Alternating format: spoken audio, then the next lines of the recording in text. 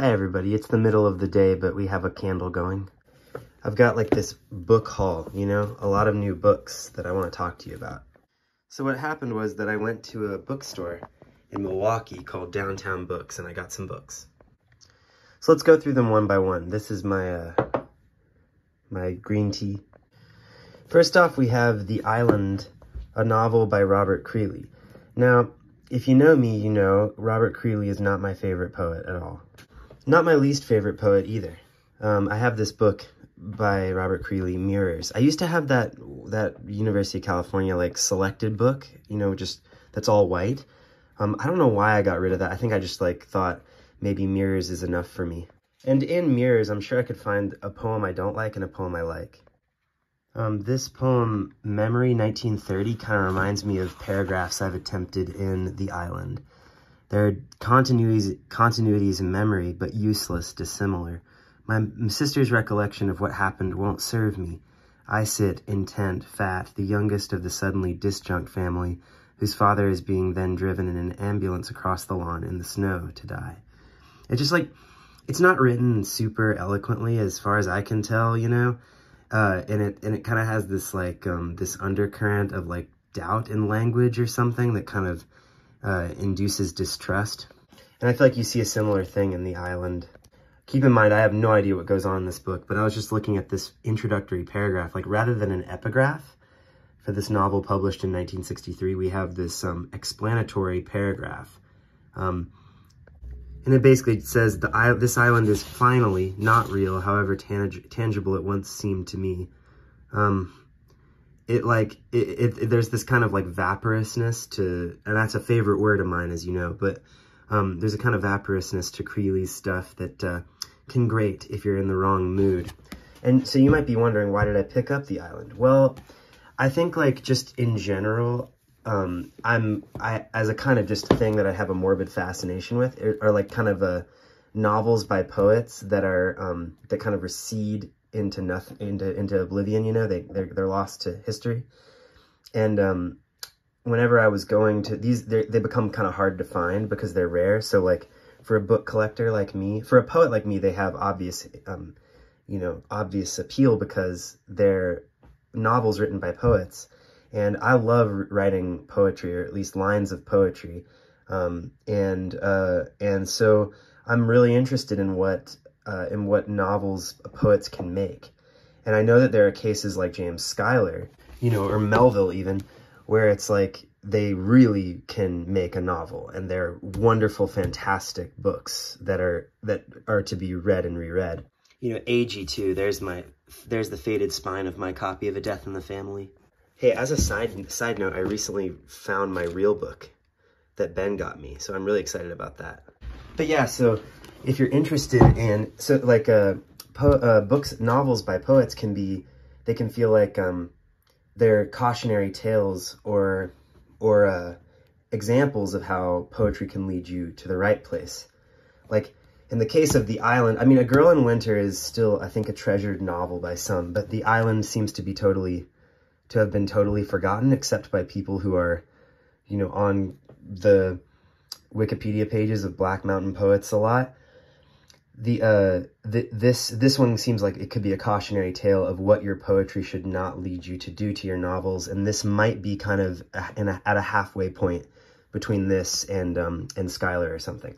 This is you don't people aren't on you know it doesn't work like that. People aren't just on a continuum. But you know just to get you um just to try to explain my fascination with these books um you know I'm I'm, I'm using some metaphors and stuff I guess. But um and kind of disfiguring my thought in that way. But um, basically, when I was at Downtown Books, I thought I'd look for these because these are rare. And I, every time I'm at a new bookstore, you kind of like, you know how you kind of scan for the thing that was rare and that you couldn't find elsewhere? Well, I happened to find a Philip Larkin novel and a Robert Creeley novel there. So I, I bought them both. Um, even though I have like, you know, you know, I have my doubts, I have to investigate. And so, um, I am excited to have found these. Yeah, and mirrors, you know, I'm going to put mirrors on the side table. Um, A Girl in Winter is Tusk Overlook, and then this is like an old Scribner paperback. This is a reprint suggesting that it's, um, that it's, you know, held in esteem for a while. It's also got a really beautiful cover. This illustration actually is really rewarding just like staring at it for a while. It's really mysterious and, and sinister and, and, and beautiful. I like the Tusk overlook. People, booktubers will love, um, will know Tusk overlook because they do um, Joseph McElroy um, reprints, and those are favorites. Jill is, I think, the one I was hoping to find, but I found A Girl in Winter. I'm not sure which one came first, but this one has lots of, you know, blurbs on the back. Joyce Carol Oates liked it. The Island is just, you know, it's like a buzz book by somebody who is like a buzz band in 1963, and nobody wants to be a buzz band, you know? You want to organically grow that following by kind of, you know, doing uh, things on your own terms for a long enough time that people catch on, you know? Um, there's been a lot of Larkin on the channel lately, as you all will know. Um, I did a, I did a, I've had lots of these like book haul videos that I think have been sort of, um, well now I've lost my train of thought. Another sip of green tea. Yeah, I've been doing these book haul videos because um, they're just like candy to the booktube viewer, and I just feel like it would be kind of cheap to deny you the pleasures of like all these books coming in. Um, like I get to enjoy it, but you don't. Like I like to share my books with you. So for all of those who didn't see that other video, this is that like Larkin um, array that I now am the privileged owner of. Larkin was getting some good mentions in the essay uh, from Madness Rack and Honey that Amelia and I were reading last night. You know, so Larkin's been on the brain. There was a verse poet uh, whose books were widely available at Downtown Books. And I thought about getting one of her books, but I didn't do it because things were getting expensive with all of these like poets novels that were cropping up for me to, to purchase. Um, and that's Wendy Cope. If you, if any viewer of this um, video really likes Wendy Cope, um, please tell me which book of hers I should start with because um, they're at least available at Downtown Books, and I will be going back there soon. So that's the deal with these with these novels, A Girl in Winter and The Island. So next we have like, this is kind of another class of thing I was looking to get there, which was just like books of poems that would contain poems by people I'd never heard of before. And so I came up with this set of three. Now I'm really, um, I'm trying to read more rhyming poetry because I love it. It's really inspiring. Um, I like all kinds of rhyming poetry. Um, also, as you know, I love these like penguin books of XYZ. Um, this is kind of a, a kind of penguin book of XYZ that I don't really have that many of. Maybe the book of meta, metaphysical verse that I have is uh, Metaphysical Poets is uh, is in this style. But anyway, kind of gloomy restoration vibe here. Um, and then here we have the Penguin Book of Ballads. We have this lovely kind of heroic landscape. And then this just, I opened it and it was, it had so much beautiful stuff in it, this book of Welsh verse. Um, it's published by Poetry Wales Press. How cool is that? Um, and of course, I haven't heard of any of these people, but I do know that like Welsh poetry was important to Gerard Manley Hopkins, who's one of my favorite poets. So I'm really excited to look into this one. You got stuff from all the way from the, from like approximately the sixth century all the way up to present day. Is it, we, we got present day here? Yeah, we got um, people born in um, in uh, 1946. So, uh, and with poems like Goggy. Yeah, this stuff to me just seems so beautiful. I really want to like kind of just, um, you know, turn my phone off and go and go somewhere and kind of sink into this book of Welsh verse. Um, the Restoration Verse book has some some uh, cool lewd poems in it. Um, the book of ballads had just great like lyric ideas in it and great like uh, stanzas. It kind of reminds me of, I've been really liking my eclectic reader um, for kind of lifting lyrics and lifting um, rhyme schemes and stuff. Here's that book, M McGuffey's Second Eclectic Reader Revised Edition. Um, I've been really liking this book for finding for finding cool poems and uh, you know, good little fires can, flies can see more than we, so how bright their eyes must be. Little fly, ope your eye, spiders are nearby. For a secret I can tell, spiders never use flies well. Then away, do not stay, little fly, good day. So you got lots of gold in McGuffey's second eclectic reader. here is the mention of uh, of Larkin in I Remember, I Remember by uh, Mary Ruefle's, in Mary Ruefle's uh, Madness, uh, Rack and Honey. I remember I recognized the allusion to Thomas Hood's I Remember, I Remember when I read Philip Larkin's version of I Remember, I Remember. Larkin's poem is also called I Remember, I Remember, and in it his train happens to stop in Coventry, and he happens to remember he was born there. The last line of the poem is, nothing like something happens anywhere. And um, let's look at, you know, what kind of poets the, these these anthologies have. This has a bunch of Welsh people I've never heard of, but like, what does the Penguin Book of Restoration verse have?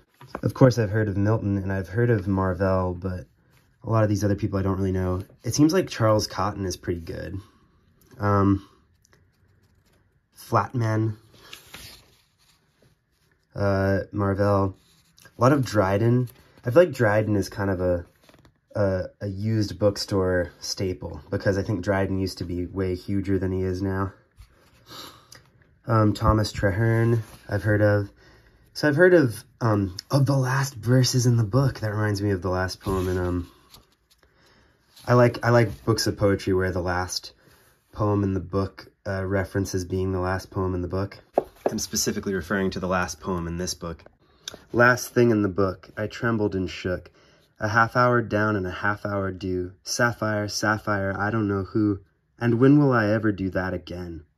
I feel like I read, I, I, just can't read Madrid, like, you know, without being, I feel like I'm too sappy or something. So here we have some people who are pretty much, uh, you know, you've heard of. And then the Penguin Book of Ballads, I think, might be a little more obscure in terms of who's in it. Yeah, I think it's um, more like anonymous stuff. Farewell the raging sea, I must die, I must die. Farewell the raging sea, I must die. Farewell the raging main, to Turkey, France, and Spain. I ne'er shall see you again, I must die. I mean, there's amazing fodder in here for your for your poems, poets. And look at that cover again. Really beautiful. So here you have two penguin books of verse, basically and Welsh verse. And so this is, these were um, calculated, I, I got these calculating that they would be, you know, additions to my poetry collection that would be, you know, that would give something that isn't already there, especially the ballads in the Welsh verse. And then this is the one I'm really excited to talk about. So we have Denise Levertov's Tesserae, Memories and Suppositions. You can see there's there are kind of tesserae on the cover here. It has this tear, and the that was that was there when I got it. It's got a very faded spine. It's a New Directions hardcover from the mid-90s, from 1994. Has a list of her publications on the back. And it's about, you know, 150 pages long. And I've read the first few bits. I'm at Cordova right now. The, um, the jacket copy lets you know that they're small individual pieces of glass or stone that make up a mosaic.